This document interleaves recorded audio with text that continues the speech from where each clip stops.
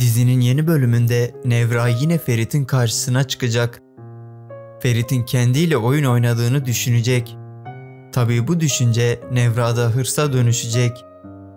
Böylece Nevra Ferit'i elde etmek için her şeyi yapacak.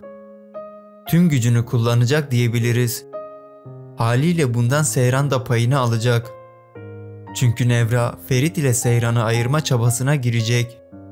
Ancak işler Nevra'nın istediği gibi gitmeyecek. Bunun sebebi ise Seyran'ın oyuna gelmeyecek olmasıdır. Yalı Çapkını dizisini sevenler yorumlarda kendi düşüncelerinizi yazmayı ve videoyu beğenmeyi unutmayın. Başka bir videoda görüşmek üzere.